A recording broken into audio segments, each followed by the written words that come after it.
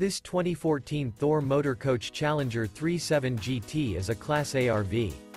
It is located in Clarkston, Michigan, 48348 and is offered for sale by General RV Center.